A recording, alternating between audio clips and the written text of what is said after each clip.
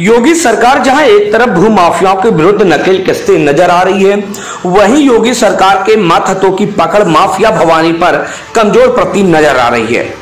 इसका सीधा उदाहरण कानपुर विकास प्राधिकरण के जोन चार अंतर्गत सतबरी गाँव में, स्थित करोड़ों की बेस कीमती सरकारी भूमि बयां कर रही है, जिस पर वर्षों से माफिया भवानी यादव कब्जा जमाए बैठा है।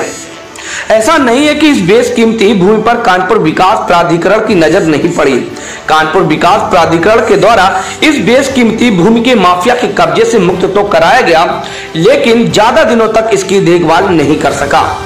जिसके फलस्वरूप माफिया भवानी एक बार फिर सरकारी भूमि पर काबिज हो गया। सूत्र बताते हैं कि सरकारी भूमि पर कबाड़ी वाले को बसाकर महीने की लाखों की आमदनी तक के रास्ते माफिया भवानी ने खोल रखे हैं।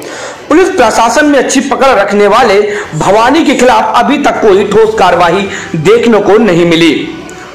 गौरतलब है कि माफिया भवानी यादव के ऊपर वर्ष 2007 में गैंगस्टर लगी थी। इतना ही नहीं, सरकारी तार चोरी करने के मामले में वह जेल भी गया था।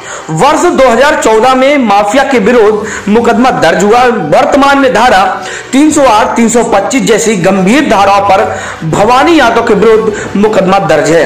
भवानी यादव पर सरकारी ज़मीन पर कब्जा कर मकान बनाने का गंभीर आरोप है। इतना ही नहीं भवानी ने सरकारी ज़मीन को अपने कब्जे में लेकर कबाड़ी वाले को भी दे रखा है। जिससे प्रतिमा मोटा किराया माफिया वसूलता है। अब बने रहिए हमारे चैनल के साथ। हमारा चैनल बहुत जल्दी सतबरी के और भी भूमाफियाओं के नाम जल्द उजागर करने जा रहा है। Bureau report IPN